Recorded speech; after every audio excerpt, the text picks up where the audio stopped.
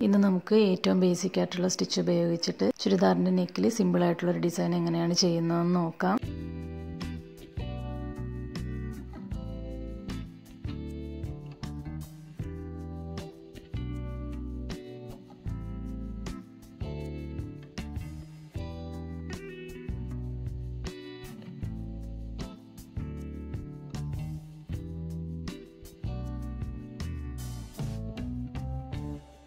ആദ്യം നമുക്ക് lazy daisy flower ചെയ്യാം. പത്ത് സ്റ്റാൻഡ്സിലാണ് സിൽക്ക് ത്രെഡ് എടുക്കേണ്ടത്.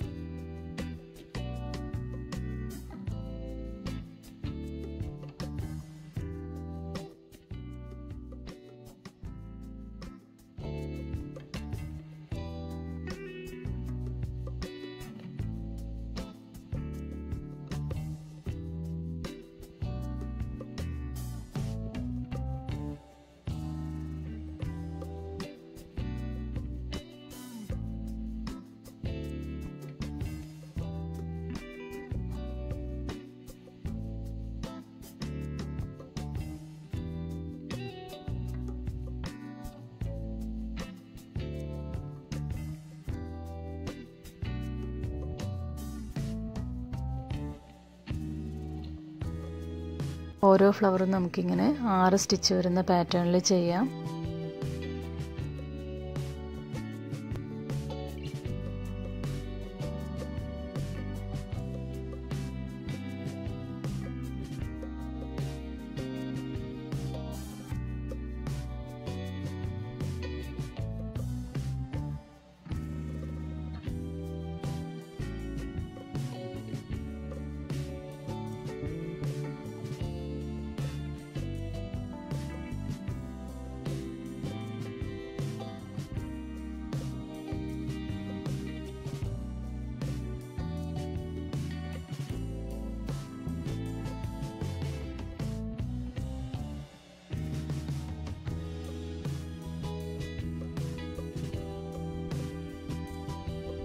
നമുക്കിനി രണ്ട് ലേസി ഡേസി ഫ്ലവറിനിടയ്ക്ക് ഓരോ ഫ്രഞ്ച് നോട്ട് ഫ്ലവർ ചെയ്യാം. പന്ത്രണ്ട് സ്ട്രാൻഡ്സിലാണ് ത്രെഡ് എടുക്കേണ്ടത്.